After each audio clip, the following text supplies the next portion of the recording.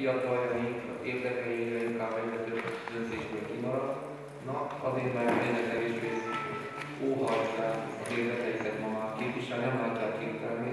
Tehát valamilyen szempontból a társadalmi részvétel az egyik fontos ennek a stratégiának, amire felhívással van, és szeretnénk is figyelmet adni, hogy fiatalok vegyenek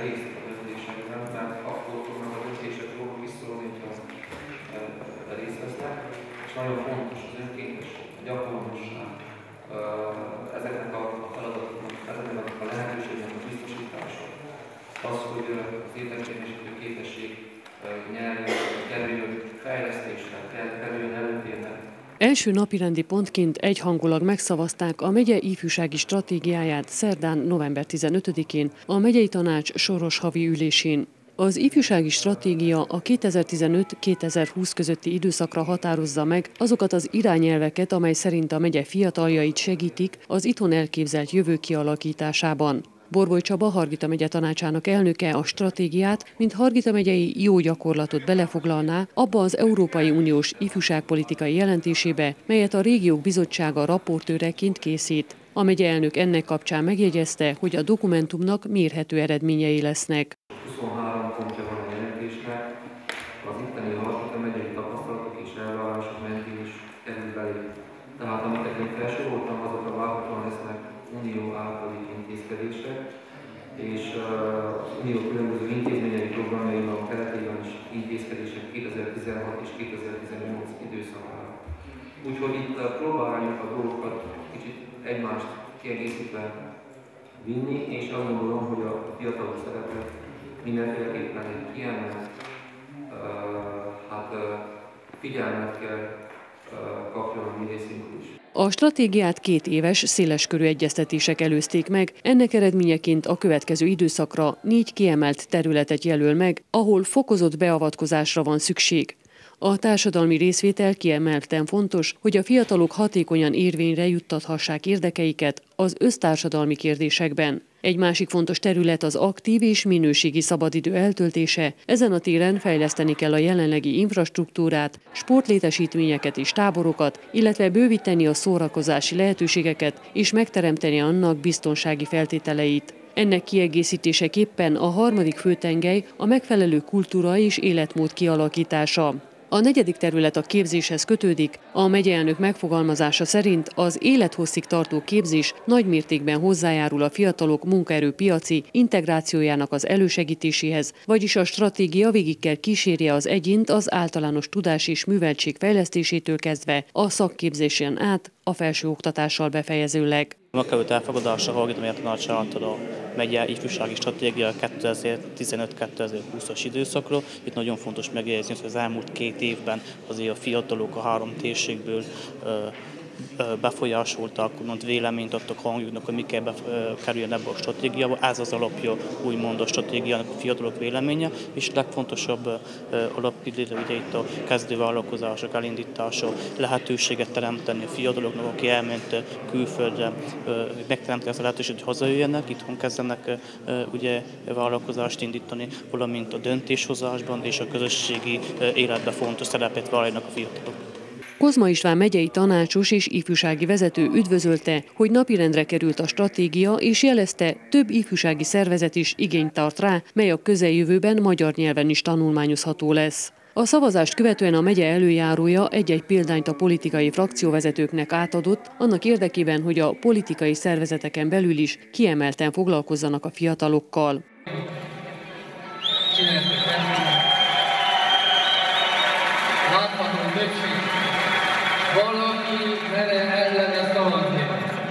Hargita Gyergyó Sportközpont önkormányzati fejlesztési társulás létrehozásáról is döntöttek a tanácsosok, Hargita megye tanácsa és Gyergyó Szent Miklós önkormányzata között annak érdekében, hogy a legnagyobb hatékonysággal kihasználhassák a nemrégiben felújított Gyergyói műjégpályát és fejleszték a térség sportaktivitását több sportágban. Borboly Csaba ennek kapcsán kiemelte Barti Tihamír alelnök szerepét, aki sok munkát áldozva igyekszik javítani a térség sport teljesítményét. Dangu Ervin, megyei tanácsos, szintén méltatta az alelnök érdemeit, megjegyezve jelenleg nagyon sok gonddal küzd a gyergyői sportélet, ezen pedig remélhetőleg az új fejlesztési társulás nagy mértékben tud javítani. Gyergyőszemiklós önkormányzata és megyei önkormányzat közösen hoznak létre egy ilyen társulást. Nem tudom, kik lesznek benne. Véleményem szerint ez már egy két olyan dolog, ami garancia abban, hogy a pálya a karbantartása, a fenntartása fog működni.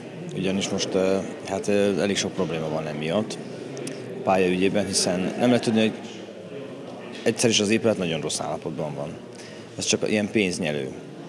És Hát helyi szponzorok, a városi tanács nem igazán tudja ezt felvállalni, hogy ezt fenntartsa, úgyhogy a megyei önkormányzat segítségére szorul, és én úgy látom, hogy ez garanciális, hogy a megyei önkormányzat belépik ebbe a társulásban, további finanszírozás ügyben. Mindegyik határozat nagyon fontos a közösség érdekében, természetesen mindegyik fontos. A, ami mégis kiemelném, az MPP frakció részéről folyamatosan követtük, és nagyon fontosnak tartjuk a Gyergyószem Miklósi jégpályán.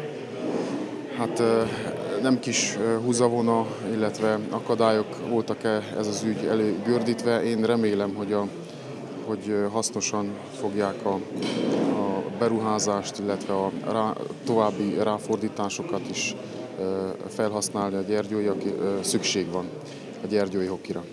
Hargita megye tanácsa újabb összegeket utalt ki novemberi ülésén községi utak felújítására is. Mai tanácsülésen több témakört sikerült megszavazunk, közel fél száz napi rendi pontunk volt, és hát aminek örvendek, hogy e között volt olyan is, amire büszkék vagyunk, és a fiatalsággal foglalkozik. Kiemelt témakörnek számítom azt is, hogy a költségvetést sikerült módosítsuk, és a módosítás alapján hát a speciális oktatási rendszerben és a kisegítő, tehát az, erőforrás, oktatási erőforrás központban dolgozó munkatársaknak a decemberi fizetésének a biztosításához a megyei tanács, a kormány helyett is meghiteleztem a pénzt, tehát decemberre tudunk fizetést adni ezekben az intézményekben. Ugyanakkor azt is nagyon fontosnak tartjuk, hogy három településen, Dánfalán, Szárhegyen és Csíkszentgyörgyön újabb községi utak készülhetnek el. Ezek nagyon fontosak ahhoz, hogy az életminősége javuljon.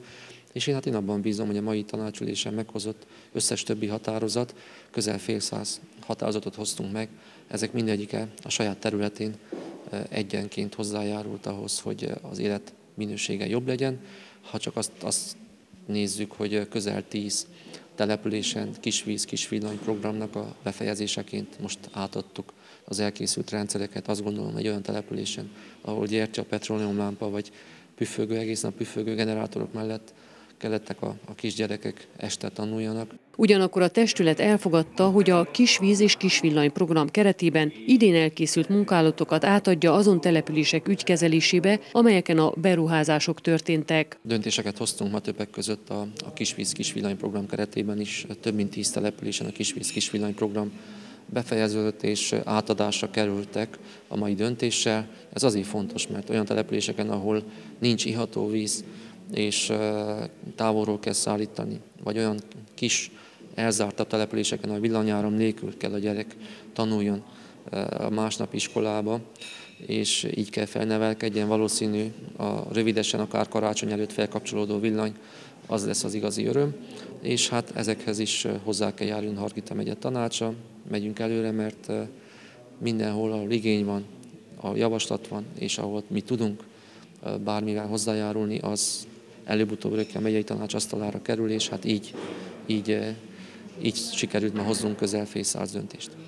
A döntéshozók elfogadták a járdaépítés Hargita megye településein 2015-2018 között programját is. A megye 785 kilométeres megyei úthálózatából 300 kilométer településeken belül található, számos részen a települések lakói forgalmas utak mellett közlekednek. A program első részeként Zetelaka és Gyergyóalfalon áthaladó DJ 138, illetve DJ 126 jelzésű megyei utak mentén építenének több mint 4500 négyzetméternyi járdát.